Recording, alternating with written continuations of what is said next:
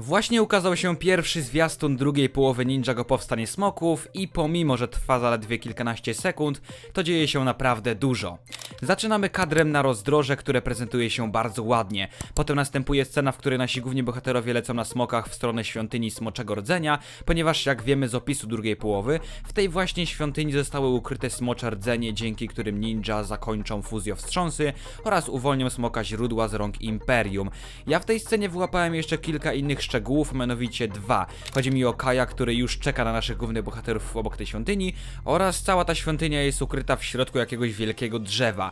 Kiedy po raz pierwszy przeczytałem o tym w opisie drugiej połowy, to trochę nie dowierzałem, że będzie to w takim wielkim drzewie, no ale jednak. Kolejny kadr daje nam już zbliżenie na wrota tej świątyni, które nie dość, że się otwierają, to jeszcze skrywają napisy w alfabecie Ninjago.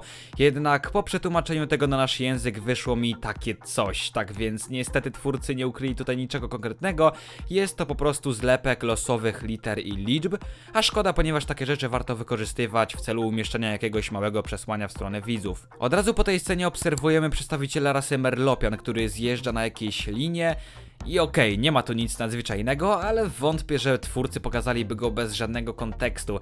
Zapewne ten właśnie Merlopianin jakąś rolę w drugiej połowie odegra, tylko jeszcze nie wiemy jaką.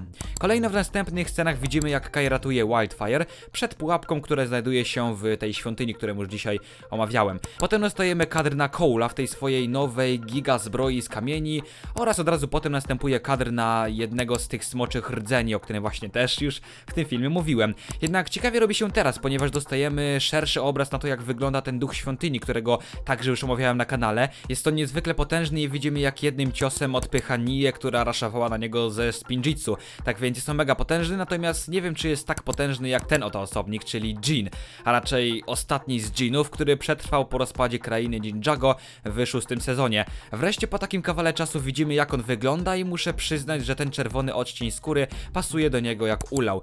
Cały zwiastun zakończa się kadrem na smoka źródła, ale jest to scena z 10 odcinka, czyli nie jest to nic odkrywczego, już to widzieliśmy. Dajcie znać, czy jesteście zadowoleni z tego, co otrzymaliśmy w ramach pierwszego zwiastuna drugiej połowy Ninjago Powstanie Smoków. Ja muszę przyznać, że jestem nawet podekscytowany, ale nie chwalmy dnia przed zachodem słońca, poczekajmy aż okaże się cała druga połowa i wtedy zobaczymy, czy jest to tak dobre, na jakie się zapowiada. Tymczasem ode mnie to na tyle, ja już się z wami żegnam i co, ja tam lecę pobiegać, wy też możecie w sumie, siema.